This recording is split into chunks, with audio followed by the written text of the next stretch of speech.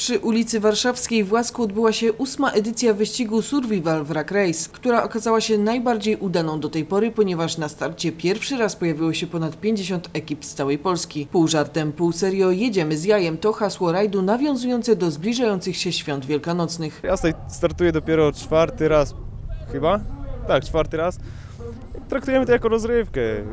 Fajna zabawa, można się trochę porozbijać, wyżyć. Chyba dlatego tylko. Ja jeżdżę w serii e, amator, wiadomo, taniej wychodzi po prostu.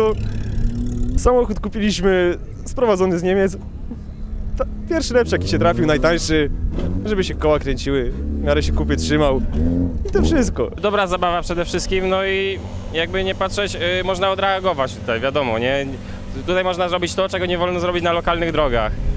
Można po prostu, no, katować te samochody, jakby nie patrzeć, no i to jest tania alternatywa dla tych, co nie mają zbyt wielu pieniążków, żeby na przykład, nie wiem, startować w jakichś ligowych wyścigach lub innych dyscyplinach motosportu, tak?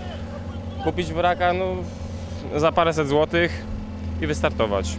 Który raz startujesz w wyścigu i powiedz mi, skąd masz samochód i jak się przygotowujesz do tego wyścigu? Znaczy tak, jeżeli chodzi o który raz, yy, trzeci raz startuję, samochód jest trzeci. Pierwszy raz startowałem autem wypożyczonym, spróbowałem, spodobało mi się i to już jest teraz auto moje, które sam zakupiłem.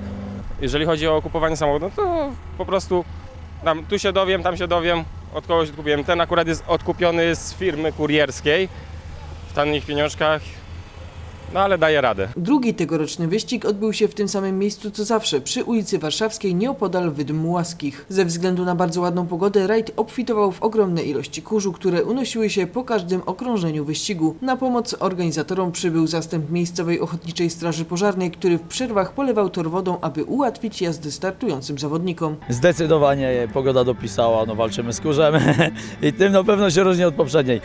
Co zmieniliśmy? Zmieniliśmy, podzieliliśmy, teraz e, zrobiliśmy, wprowadziliśmy dwie kategorie, gru- grupę pro i grupę seria. Grupa pro to są samochody ze wzmocnieniami, gdzie dozwolone jest e, wzmocnienie e, pojazdu, opony sportowe.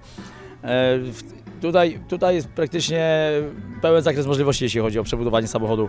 Natomiast grupa seria to jest, samo, są to samochody, e, tak jak sama nazwa mówi, seryjne. E, dozwolona jest e, tylko blacha pod e, silnikiem, żeby zabezpieczyć miskę i ewentualnie wyniesienie chłodnicy. Poza tym opony seryjne. Żadnych wzmocnień, jest to po prostu e, grupa stworzona dla ludzi, którzy chcą się dopiero zacząć bawić w to i no niestety startując pierwszy raz wiadomo, że nie mają, nie mają szans, że tak powiem, z doświadczonymi kierowcami, którzy jeżdżą kilka lat i budują te samochody od podstaw. Dzisiaj mamy zdecydowany progres, jeśli chodzi o poprzednią, e, mamy blisko 50 załóg, e, mamy, to są załogi z całej Polski. No, naprawdę mamy tutaj e, ludzi, którzy przejechali 360 km, e, mamy oczywiście tradycyjnie Śląsk, e, oczywiście naszych tutaj miejscowych zawodników, mamy gości, mamy w sensie e, organizatorów, e, na przykład Wrag Race Tarnów, których serdecznie pozdrawiamy. Ostatnio się wybieraliśmy nawet do nich, też mamy 350 km, ale współpraca. Niedzielny wyścig był drugim z sześciu zaplanowanych w Łasku na ten rok. Okazał się wielkim sukcesem, dlatego organizatorzy już dziś zapraszają wszystkich fanów motoryzacji do uczestnictwa oraz kibicowania w kolejnych edycjach, na których nie zabraknie również naszych kamer.